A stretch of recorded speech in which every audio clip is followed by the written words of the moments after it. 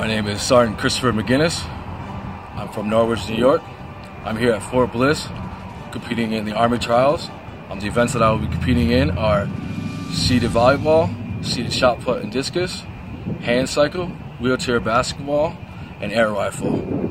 Um, this program has brought a lot of things to me. Um, it's given me a, a, a, chance to compete again, and has also given me my sense of pride back again.